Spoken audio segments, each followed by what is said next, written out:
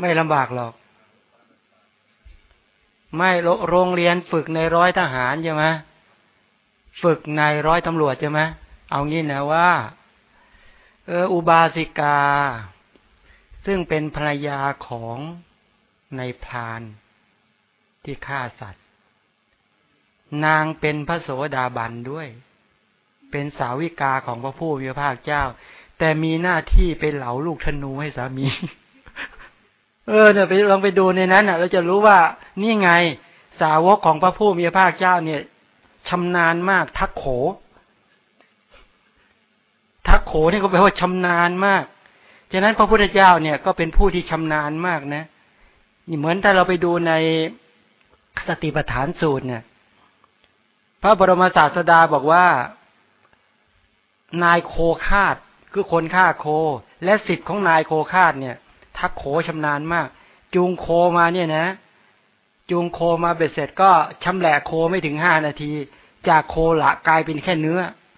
ความเป็นโคหายไปแม้ฉันใด ใช่ไหมตถาคตชำนาญยิ่งกว่านั้น เธอเป็นสิทธิ์ของตถาคต เธอก็ต้องมีทักโขชำนาญ ฉะนั้นยอมเจอใครก็จับฟันเอาปัญญาเนี่ยฟันชำแหละ ดินน้ำไฟลมใช่ไหม แยกเลยผมขนเล็บฟันหนังเนื้อเอ็นกระดูกเยื่อในกระดูกม้ามหัวใจไตปอดไส้ใหญ่ไส้น้อยหันใหม่หันเก่ามันสมองแยกเป็นธาตุดินเลยดีเสลดหนองเลือดเหงื่อมันข้นน้ำตาเปลวมันน้ำลายน้ำมูดเป็นต้นแยกเป็นธาตุน้ำไป ไฟที่ยังกายอบอุ่นไฟยังกายสุดโทมเป็นต้นสี่อย่างนี้เป็นธาตุไฟไปลมพัดขึ้นเบื้องบนลงเบื้องต่ำลงในท้องลมในไส้คือใช้ปัญญาชำแหละปึ๊ดนี่เลยนี่เหมือนกัน ในกรณีนี้ยกตัวอย่างก็คือว่า อุบาสิกาซึ่งเป็น ซึ่งเป็นภรรยาของในพรานฆ่าเนื้อ นางเหลาลูกธนู นางนางไม่เคยคิดเลยว่าเหลาลูกธนูนี้เพื่อให้เขาไปฆ่า แต่เหลาในฐานะว่าตนเองทำหน้าที่ภรรยา เห็นไหมบาปจึงไม่ตกแก่นางเลย ทีนี้ประการต่อมาในในร้อย เราฝึกใช่ไหมถ้าคนที่ไปเป็นอาจารย์ฝึกใช่ไหมก็ทำหน้าที่ในฐานะอาจารย์ พื่อให้เขาเกิดความชำนาญ แต่ไม่เคยมีความคิดว่าคุณต้องไปฆ่าเขาเนี่ยอันนี้มันไม่เป็นไง แต่ถ้าบอกว่า เออนี่คุณต้องไปฆ่าอย่างนั้น นี่มันจะพลาดตรงนี้ไง คุณต้องไปจัดการอย่างนั้น คุณต้องไปวางแผนอย่างนี้ การโยนระเบิดลงไปนี่นะทำยังไงจะตายมากที่สุด ถ้าไปคำนวณอย่างนี้นี่ยุ่งเลย ยุ่งเลย เช่นการลงก็ไปคำนวณว่า ถ้าเราทิ้งระเบิดระยะรัศมีอย่างนี้ คนจะตายประมาณเท่านั้นเท่านี้ ฉะนั้นเราจะต้องทิ้งให้ตายมากกว่านี้ สมมติเงี้ย อันนี้พลาดเลย เรื่องอันนี้เป็นเรื่องจารกรรมเรื่องการฆ่า ผิดไหมผิด ใช่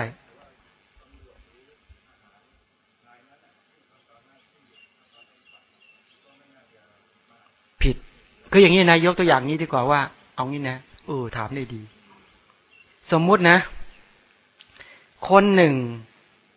สั่งให้เอาเอาเอาโยมก็แล้วกัน สมมติโยมเป็นหัวหน้า แล้วโยมมีลูกน้องโยมเป็นผู้บังคับบัญชา ลูกน้องเป็นผู้ใต้บังคับบัญชาย้ำสั่งบอกว่า เอา เอาระเบิด ไปโยนใส่ฆ่าศึกศัตรูนี่ให้ตายเลยนะ เบ็ดเสร็จ ลูกน้องก็คิดเครียดเลย โอ้โห ไม่อยากทำเลย แต่ก็ทำด้วยความจำใจนะเนี่ยนะก็สองกรณีนี่นะแล้วต่อมาอายอมก็เป็นพวกเราที่นั่งอยู่นี่ลุ้น โอ้โห ต้องจัดการให้หมดลุ้นเลยนะ อันนี้สมมติเนี่ยในกรณีอย่างนี้นะหนึ่งคนสั่งไปฆ่า เออไม่ไม่กรณีคนไปฆ่า ไม่ได้เครียดเท่าไหร่ทำตามหน้าที่ ถือว่าทำตามหน้าที่ พวกเราก็ลุ้นสถานการณ์ ว่าเออ พอตูมเข้าไปว่าตายก็จริงเอาวในสามกลุ่มใช่ไหมเออสามกลุ่มเลย ในสามกลุ่มเนี่ย คนสั่งฆ่า ตายไปแล้วไปเกิดเป็นสัตว์นรก คนที่ไปฆ่าตามคำสั่ง เป็นสัตว์เดรัจฉานยินดีที่เขาถูกฆ่าเป็นเปรตกลุ่มนี้นี่จะเป็นอย่างนี้นะที่ผลของกรรมจะเป็นลักษณะแบบนี้ ไปดูในอัตสาลีนีอัตถกถา ในอัตถสาลีนีอัตถกถาของพระพิธามาปิฎกนะตะกี้ตอนที่ที่ท่านพูดถึงตอนที่ว่าพอเราพิจารนาแล้วถ้าเกิดจิตเราฟุ้งซ่านท่านบอกว่าให้เราหลบไปทำสมาธิทีนี้ถามว่า กรณีที่ทำสมาธิเนี่ย ถ้าอย่างในกรณีที่ที่ตัวเองนะคะ นั่งทำสมาธิก็ก็ยังฟุ้งซ่านอยู่ รู้ตัวว่าฟุ้งซ่านอยู่ แล้วมันจะใช้ได้ไหม ถ้าหากว่าเรามาพิจารณาถึงการกุศลศีลนะ เราเกิดฟุ้งซ่านก็ให้ตรึกพุทธคุณ ให้น้อมไประลึกถึงคุณของพระบรมศาสดาว่า พระศาสดานั้นทรงประกาศกุศลศีลด้วยพระมหากรุณาที่คุณเนาะนั้นมหากรุณาสมาบัติยานที่อย่างเห็นกระแสของชีวิตของสัตว์ทั้งหลายที่จะตกไปในใบยภูมิและตกไปในสังสารวัฏฉะนั้นการที่เราเนี่ยมาฟุ้งซ่านกับการมาคิดศีลไม่ควรแก่เราเลย พระศาสดากว่าจะอุบัติเกิดขึ้นมาแต่ละครั้งก็เป็นเรื่องยากแสนเข็นมาก เรานั้นมีโอกาสที่ได้พบพระศาสดาได้ฟังธรรมของพระบรมศาสดาในครั้งนี้ ฉะนั้นพระศาสดาประกาศกุศลศีลไว้ล้วนจะเป็นของดีทั้งนั้น แสดงเห็นชัดว่าเราคิดเรื่องกุศลศีลด้วยจิตที่เป็นอกุศลเป็นแน่แท้ น้อมตั้งศรัทธาไว้ในพระผู้มีพระเจ้า ให้จิตนั้นเป็นสมาธิจากการปารบพุทธคุณ อปารบพุทธคุณเบ็ดเสร็จแล้วนะความดื่มด่าในพุทธคุณจะแข็งแรงขึ้น เมื่อแข็งแรงขึ้นก็จะเห็นประโยชน์ต่อการที่รักษากุศลศีล พระศาสดานั้นเนี่ยต้องการให้เรารักษาศีล พระศาสดากรุณาเรา พระศาสดานั้นมีความรักในเรา ต้องการให้เรานั้นพ้นจากอบายภูมิและพ้นจากสังสารวัฏก็พระองค์หวังดีกับเราเช่นนี้ แต่เราก็มามาเอาศีลของพระองค์มาคิดด้วยความเป็นความฟุ้งซ่าน จึงเป็นการไม่สมควรแก่เราเลย พอพิจารณาล้วอย่างนี้ความสงบจะเกิดไหมความสงบจะเกิด เพราะเราตั้งมั่นในพุทธคุณนั่นเอง ในคุณของพระศาสดานั่นเอง ฉะนั้นการพิจารณาการวิจัยในลักษณะนี้จึงมีแต่ผลดีอย่างเดียว ไม่ได้เป็นผลเสียเลย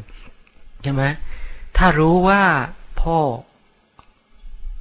เอารัตนามาให้ ลูกจะไม่เครียดเพราะหยิบรัตนาของพ่อนะ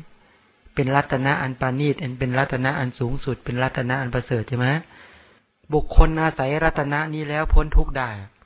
ฉะนั้นพระศาสดานั้น หยิบยื่นรัตนะให้ เราควรขอบคุณเนี่ยทำไมใช่ไหมแต่เพียงที่เราฟุ้งเนี่ย เพราะเราไม่มีศรัทธา มือเรายังด้วน มือเรายังขาดไง เราก็ต่อมือสิ ใช่ไหมก็ต่อมือเพิ่ม ฟังพุทธคุณกถา ใช่ไหม คุณของพระศาสดาให้มั่น และเราก็คนที่ศรัทธาพระเจ้าจริง ๆ ไม่หลงทางหนักเข้าเดินถูกทางทุกคน แต่ถ้าศรัทธาบุคคลเนี่ย หลงทางเก่งมาก ฉะนั้นขอให้ตั้งศรัทธาไว้ในพระเจ้า เดี๋ยวพระเจ้าจะโปรดท่านนั้นหลาย ขอให้ศรัทธาพระเจ้าจริง ๆ นะและจะไม่หลงทาง คนที่หลงทางเพราะไปศรัทธาตั้งไว้ที่ตัวบุคคล คนที่หลงทางเพราะไปศรัทธาตั้งไว้ที่ตัวบุคคล โดยมากก็หลงทางโดนหลอกมาเยอะแล้ว ไอเรื่องบอลใช่ นั่นแหละ พระบรมศาสดาอยู่ในฐานะของพระไตรปิฎกฉะนั้นเมื่อเราศรัทธาในพระไตรปิฎกในอัตถกถาในดีกาทั้งหลายเหล่านี้ที่เป็นคำที่ขยายพุทธาที่บายเบสเสร็จแปลว่าไม่ใช่บุคคลแล้ว เพราะเราไปเคารพพระพุทธเจ้า และพระธรรมของพระพุทธเจ้า พระศาสดาประทับในที่ไหน ถือว่าพระไตรปิฎกประทับด้วยทำไม ในสมัยครั้งพุทธกาลเขานิมนต์พระพุทธเจ้าไปไปประทับที่บ้าน หรืออย่างที่สันทาคารเนี่ยนะเวลาเขาจะเปิดใช้สันทาคารหอประชุมธรรมสภาของรัฐฉวีก็ดี หรือว่าในนิโครธารามเป็นต้นก็ดี ในกรุงกบิลพัทท่านเหล่านั้นก็จะนิมนต์พระพุทธเจ้า และสาวกของพระพุทธเจ้ามาประทับใช่ไหมพระพุทธเจ้ามาประทับที่ไหน พระไตรปิฎกประทับที่นั่น สาวกของพระพุทธเจ้าก็มาณที่นั่นด้วย ฉะนั้นในกรณีในลักษณะแม้ในทุกวันนี้พระศาสดายังไม่ปรินิพานนะ โดยฐานะแห่งพระธรรม พระศาสดาบอกว่าเราปรินิพานไปหนึ่งแต่พระศาสดาแปดหมื่นสี่พันองค์จะทำกิจศาสดาแทนเรา หลังการล่วงไปแห่งเราเออถ้าเราเข้าใจอย่างนี้มันจะมั่นใจ เหตุผลที่เรายังอ่านคำสอนฟังคำสอนไม่เข้าใจ เพราะการเสพคุณเราน้อยไปก็อย่าท้ออาหารมาเสพคุณมากๆ วิจัยหรือฟังมากๆใช่ไหมอย่าฟังสเปสปะ อย่าฟังสเปสปะ อย่าเที่ยวสเปสปะ ชีวิตเรามันจะเสียศูนย์อายุเรามันสั้นลมหายใจเรามันจะขาดอยู่แล้วเนี่ยนะอย่าสเปสปะ ตรงไหนที่กล่าวเป็นไปตามพระไตรปิฎกอัตถกถาดีกว่าไปเหอะตรงนั้นนะเป็นที่ที่เราจะต้องไปฝังศรัทธาไว้ แสดงว่าพระศาสดาปรากฏตรงนั้นแล้วใช่ไหมตรงไหนบิดคำสอน ทำคำสอนให้บิดพิ้วตรงนั้นแล้วก็เดินหนีเดินจากเสียมันไม่มีอะไรที่เราจะต้องไปอะไรอวรเลยนะ ทุกคนต่างก็ต้องการจะพ้นทุกข์ใช่ไหมฉะนั้นเราก็ เอ๊ะถ้าตอนนี้เรายังไม่รู้ทำยังไงก่อนไปพิจารณาก็ศึกษาเนี่ยการศึกษานั่นแหละจะแยกแยะได้ใช่ไหมการศึกษาถ้าโยมเรียนจบแพทย์มาเนี่ย ใครมาบอกวิชาเถื่อนเดือนรักษาเนี่ยโยมรู้ทันทีไม่เอาด้วยเลยเนี่ยนะ หรือจบวิชาใด ๆ มาก็แล้ว แต่แต่ชำนาญแล้วมีคนมาบอกวิชาที่ผิดพลาดโยมก็ไม่เอาแล้ว นี่ผิดพลาดผิดจากหลักการนี่ นี่ก็เหมือนกัน เมื่อเราฟังว่าทำคำสอนไปเสร็จ นั้นในยุคปัจจุบันนี้ก็มีนะที่เราจะสามารถสืบค้นคำสอนได้ไม่ยากเลยอะมีใครจะถามอะไรอีกไหมอะหมดหรือยัง เอาเลยรีบถามเลย ไม่มีเลยอ้าวเสร็จก่อนเอาเลยอาถาม อปานาติปาตาเวรมณีสิกขาประทังสมาธิยามีอาพูดเรื่องการฆ่าใช่ไหมใช่หรือเปล่าใช่ไหมใช่หรือเปล่าอะไรพูดได้ใช่หรือเปล่า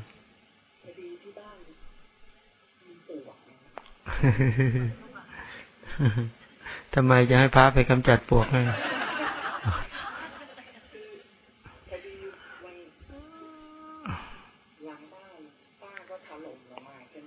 ใช่ไหม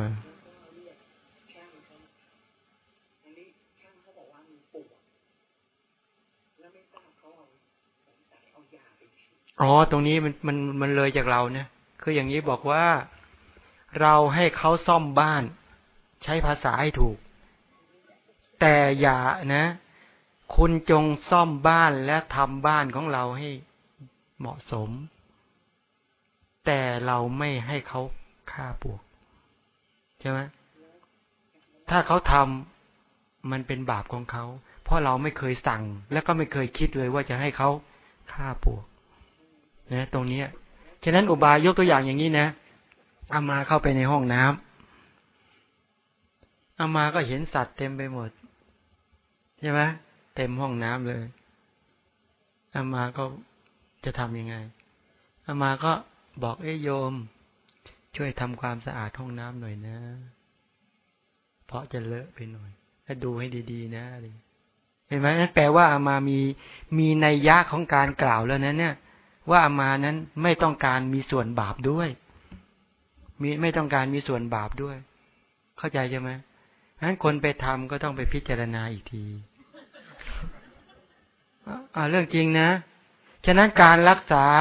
กุศลศีลในพระศาสนาของพระเจ้านั้นเป็นเรื่องของปัญญานะ เอาอย่างสมมตินี่นะ ถ้ามาจะบอกยอมโจ้เนี่ย ช่วยขุดดินให้หน่อยอามาเป็นอบัตทันทีนะ ได้สำนวนโวหารแบบเนี้ยแต่ถ้ามาจะใช้ในกรณีให้โวหารพระวินัยมายอมโจ้ช่วยขุดหลุมให้มาหน่อย หลุมหลุมใช่ดินไหมเห็นไหมเนี่ย เนี่ยคือภาษาของพระวินัย นั้นพระที่เขาฉลาดในภาษาที่เขาใช้พระวินัยเป็นเนี่ยนะเขาเจริญกุศลศีลเป็น เขาจึงไม่เกี่ยวข้องกับการที่จะสิกขาบทเขาล่วงละเมิดเลย อย่างนี้เป็นต้นนะอย่างนี้เป็นต้น นั่นในรายละเอียดเป็นจะเป็นลักษณะอย่างนี้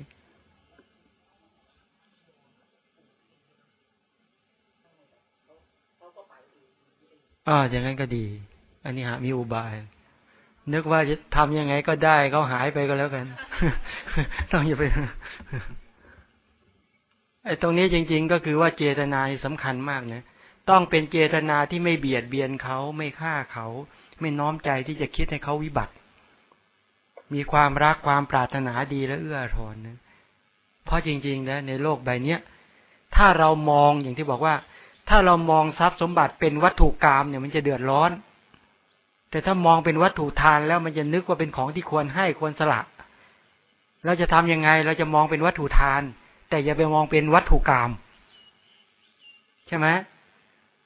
ถ้าเรามองเป็นวัตถุกรรมเมื่อไหร่แล้วเนี่ย มันจะยึดจะติด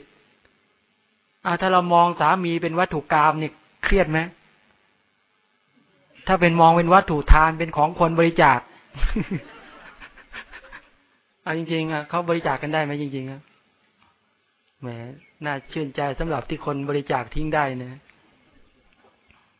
นะถึงบอกไง ถ้ามองเป็นวัตถุกรรมเนี่ยมันจะเป็นเครื่องผูกทันทีเลย เพราะเรามองสิ่งต่างๆ เป็นวัตถุกรรมนี่แหละ มันจึงเป็นเครื่องผูก ผูกใจทำให้สัตว์นั้นยึดติดแล้วก็หวงแหน มีความรักความอะไรอววรแต่ถ้ามองเป็นวัตถุทานเลยเราเข้าใจเจตนาทานเราเข้าใจวัตถุทานก็เป็นสิ่งที่ควรสลักก็ไม่เป็นสิ่งที่ควรจะยึดติดใช่ไหมถ้ามองนี้จะชัดเจนแล้ว อ้าวเจนบอลอะไรถามมาอาจารย์ขออนุญาตถามอย่างเรื่องเรื่องปลวกต่อนะคะ ทีนี้ทีนี้บ้านบ้านอยู่ในหมู่บ้าน ทุกบ้านก็ฉีดปลวกหมดเลย แล้วถ้าบ้านเราไม่ฉีดเนี่ยปลวกก็จะมาที่บ้าน พร้อมทั้งหนูพร้อมทั้งสัตว์อื่นที่เขาฉีดกันกันไว้ แล้วตกลงก็ต้องฉีดกับเขาเหมือนกัน โดย โดยคือจะเลี่ยงเลี่ยงอย่างอื่นก็ไม่ได้เพ ราะว่าเขาต้องทำสัญญามา ในสัญญาก็จะเขียนว่าสัญญากำจัดปวกและแมลง และหนูพร้อมแมลงสาบแล้วก็มดแล้วเราก็ต้องเซ็นชื่อถ้าไม่ทำก็ไม่ได้เพราะมันมาเลยลองว่าโอเคเราไม่ทำตรงนี้ตรงนี้อามาไม่แนะนำให้ทํำยังไงนะเพียงแต่แนะนำว่าอุบาสิกาซึ่งเป็นภรรยาของนายพานเเหลาลูกศร เหลาลูกธนูให้สามี แต่นางไม่ไม่ทำปฏิบาตนะ วางใจยังไง ถ้าอย่างนั้นผู้พิพากษาเนี่ยเซ็นคำสั่งให้ประหาร เป็นปณติบาตก็ได้ ไม่เป็นก็ได้ มันแล้วแต่ฉลาดในการวางใจนะ ดึง เข็ม ดึงสาย ช่วยเห็นไหมออกซิเจนให้กับคนไข้ เป็นปนาติบาตก็ได้ ไม่เป็นก็ได้ นั่นคือความฉลาดของพุทธบริษัทของพระผู้พิพากเจ้า ตรงนั้นต้องฉลาดในการที่จะวางใจ รายละเอียดเยอะ เดี๋ยวไว้ถามอาจารย์มีชัยท่านวางใจให้ดู เอามานะนั้นมันมีหลักวางใจหมดเลยนั้น ถึงบอกว่าสาวกของพระผู้มีพระภาคเจ้านั้นเขารักษาเขามีปัญญาเขาไม่ได้รักษาด้วยโมหะ กุศลศีลมีปัญญานำหน้า ไม่ใช่กุศลศีลมีโมหะนำหน้า ซึ่งไม่ใช่ นั้นเป็นความเป็นอกุศลอกุศลศีลไม่ใช่กุศลศีลอาจารย์บอล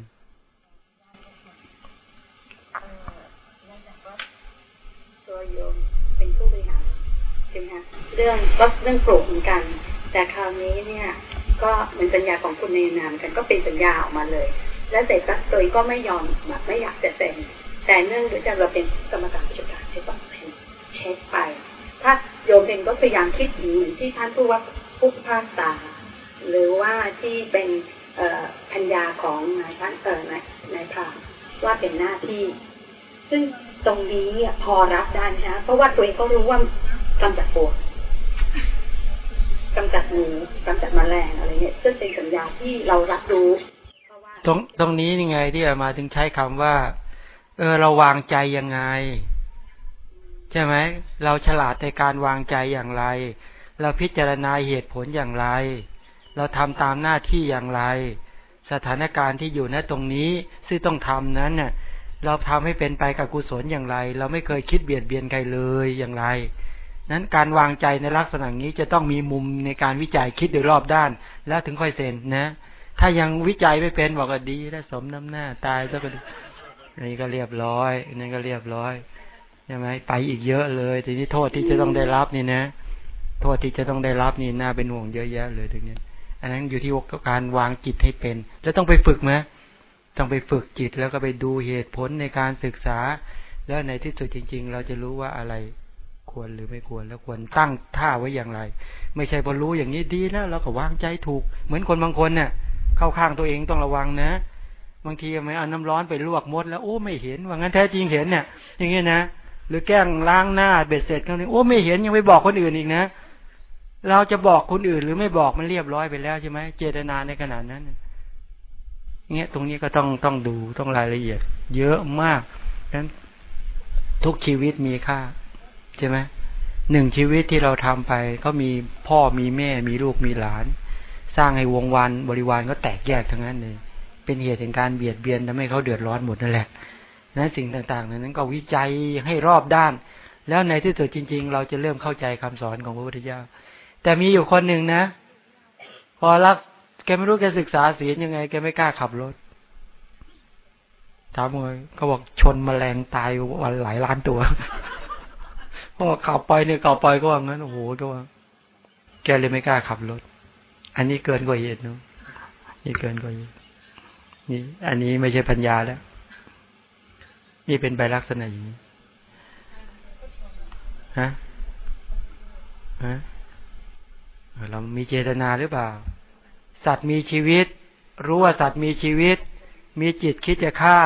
ทำความเพียรเพื่อฆ่า สัตว์นั้นตายลงเพราะความเพียร เราไม่มีเจตนาจะไปฆ่าอะไรใครเรามีเจตนาจะขับรถกลับบ้าน จะไปทำธุระแต่ถ้าเจตนาบอกเออดีแล้ว ไปครั้งนี้จะฆ่าสักสามล้านตัว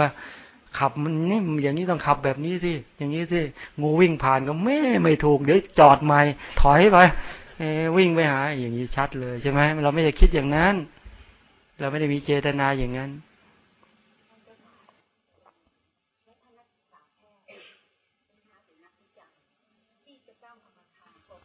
ว่าอย่างนี้เรียบร้อยเลยไม่แนะนำไม่ได้หรอกเอางี้ใช่ไหมบอกแพทย์คนนั้นน่ะ บอกจะผ่าหัวแพทย์เพื่อคนส่วนใหญ่ เขายอมไหมยอมไหมในญาติเดียวกัน กบเขาก็ไม่ยอมหรอก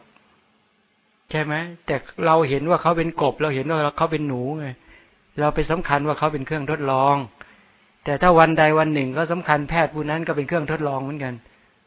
แล้วจะว่ายังไง สิทธิเสรีภาพเห็นไหมมันก็เป็นอย่างเงี้ยมนุษย์เล่นแบบเนี้ยใช่ไหมทำทีทำท่าเล่นมีเขียนกฎหมายเองตัดสินเองอะ แล้วอย่างนี้ใครเขียน ไม่ใช่พระเจ้าเขียนนี่ถ้าพระเจ้าเขียนกฎหมาย เขียนศีลด้วยสัพพัญญุตยานใช่ไหมแต่นักกฎหมายทั้งหลาย ผู้บริหารผู้ปกครองทั้งหลาย เขียนศีลด้วยโลภะโทสะโมหะเอาเป็นสาระไม่ได้หรอกใช่ไหมเอาไปสิทธิเสรีภาพซะนี่